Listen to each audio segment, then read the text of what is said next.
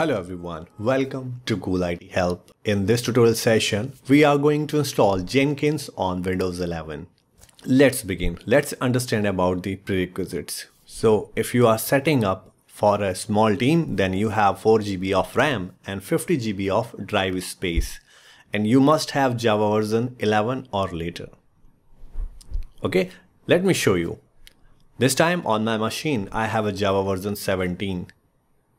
Okay, now we are ready to proceed. So there are two simple steps. In this step one, we will see the downloading and installation action and I will explain you through the installation what are the important steps. And after in the step two here, after the installation, we will do some verification that uh, Jenkins is set up as a service in Windows 11 or not. Okay, so now copy the download link from the description and come here in the address bar of the browser, paste it. And then you will see the Jenkins official download page. Come here in this section, LTS 2.414.2 version, look for the Windows option, click here. We have other versions as well for other operating systems. Once you click, you will be redirected on this page and your jenkins.msi file will start downloading this way. You can see here. So file size is not big, only 91.3 MB in size. I have already downloaded and placed here in a separate folder. So simply you have to do a double click on this MSI file to launch this installer.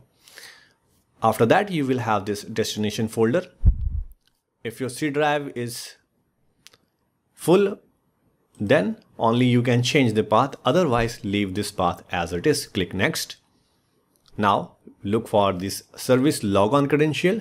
So guys we are not going to proceed with the run service as a local user or domain user because this creates problem time to time and this is diff little difficult to solve this. So first we will go with the uh, run service as a local system. After that, we will change it to the local or domain user. I will show you that step. So first go with the option. Now here you have to do the port selection. So Jenkins setup automatically detects the free port. If your 8080 is busy, then this will show you another useful port. So we don't need to change here uh, manually and whatever is appearing just click on the test port. If you see this green tick mark then you can proceed. Okay now in the next window you have to give the path of the java runtime environment. In your system if you have set up the java underscore home so it may can detect the java path or if it is not set as a java home or your jdk is set up as an archive because in my system the same thing is happening. I have downloaded the java archive and i have used the jdk path. That's why this is asking me to give the path of that jdk location. So i am using that browse button and selected the path. Then click next. In the custom setup select the firewall exception click next and here click on the install finally. And wait for a few seconds then you will see this window from that uh, you want to install it click yes. And soon the installation will be finished and you will see the final window. Click on the finish button. Okay so we are almost done. Now we will follow this step 2 in which we will see the Jenkins is set up as a service in Windows or not or is it properly running Okay, let's do it. Go to the search box, type services, and then you will have this services window. Here we have all the services which are running or which are stopped. So we need to look for the Jenkins. Here we found. So you can see our Jenkins is set up as a services here, which is up and running. You can see the status. Okay and you can see we log on as a local system. And here we need to change it as a domain user or local user. On the left hand side, we have option for stop the service and restart the service. So this way we can click on the stop button to stop the service. And you want to start the service again simply go on the left hand side click on this link to start the service. This is quite simple great. Now do the right click here and go to the properties. When you go to the properties you have this tab log on this time we are log on as a local system account. You want to change it. So go to this account. Here you have to click on the browse button. And here you have to give the username for which you want to set up. So this time I have one of the user with the name. I have given that name. Click OK. And this will ask you to set type the password for that user because we are going to give the access to this user for Jenkins service. Okay? And when you click on the apply this will sh show you the message that you need to stop the service and you have to resume the service again. Great.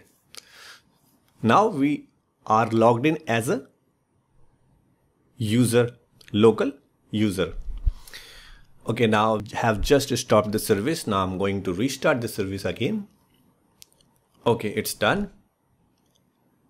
Now minimize this window. We are done with the services. Now we will go back to the notepad. So you can simply use this url http localhost. You can simply click on it and then you will see the welcome window from the Jenkins. And here this will show you the unlock the Jenkins window. So guys here we have to perform one more step. To ensure the Jenkins is securely set up by the administrator, the password has been written to the log file. Okay, and this is the path of that file. So we have to pick the initial admin password from this uh, text file and we have to come back and we have to put the password here so I have just opened here that file and we need to copy this password. Go back here, paste it, click continue. And soon you will see the next screen. Here this is asking us to install the some important Jenkins plugins. So click on the first link. So this is the common and the very uh, useful plugins which are by default going to install for our use. One by one, this will be downloaded and you will see the green tick mark against. Once everything is finished, you will move to the next screen. This is for first time we are going to create one admin user. Okay, so we need to give the name of the user like cool IT help and then you can choose a password for that user and put the same password here to confirm. And uh, we need to add the full name of the user. Because uh, in your system maybe the Jenkins users are different. You are creating a different kind of admins for different kind of administration task. That's why you can give the full name to differentiate the user properly. And here you have to give one email address for that user which is mandate and finally, we will click on the save and continue. And then this will take you to the next screen, instance configuration. So we are not going to change. So our Jenkins will launch on this HTTP localhost 8080 click next. Finally, you will get this message, start using Jenkins, click on it. Then you will have the home of your Jenkins. Welcome to Jenkins.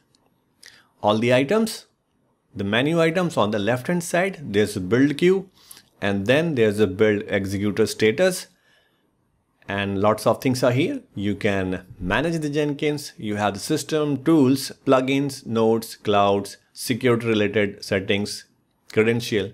When you click on the user you will have that user we have just created which is the admin. So all the properties and the credentials are appearing here. So you can customize here and configure from your this Jenkins account. When you click on the people, this will show you how many users you have. So right now we have a one user ID, Cool IT Help, which is appearing on the top as well. And once you click on the logout, you can check, you can log in again. That our admin user ID and password is working properly or not. Okay, we logged in again successfully. So guys, this is the way you can set up the Jenkins on your Windows 11. And now this is all yours. You can perform, you can create the job, you can do lots of things here in the Jenkins. I hope you guys found this tutorial relevant and useful. Please hit the like button and please subscribe to support. And for now, thanks for watching to Cool IT Help.